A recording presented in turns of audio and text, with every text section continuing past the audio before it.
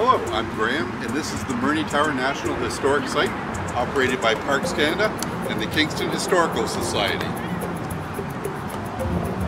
My journey as a volunteer began a few years back. I was an active geocacher, and I thought it would be fun to place a geocache in the Murney Tower Museum. A museum that I had fond memories of as a child. Whenever I visited from Ottawa and stayed with my grandparents, my grandmother would take me to Tower and I would delight in running from room to room throughout the tunnels. So I placed the geocache in this ventilation shaft right here where it stays active to this day.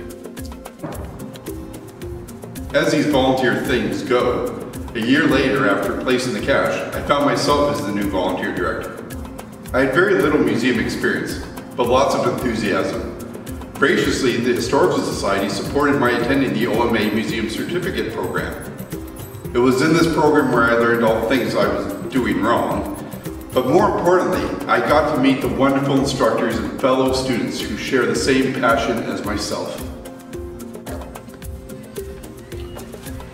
I've had many adventures as the volunteer director, but my proudest moment was when I was able to open an Indigenous exhibit designed by Dr. Terri-Lynn Brennan here in a colonial fort.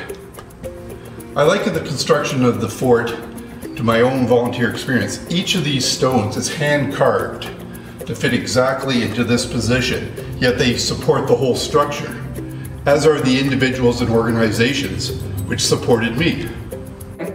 I'm limited in time to thanking not all of them, but I do want to mention specifically the support of Dr. Tabitha Renault, Dr. Marcus Letourneau, Hugh Orstrom of Parks Canada, and of course my children and wife Michelle.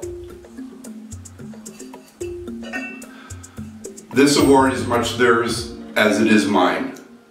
Thank you.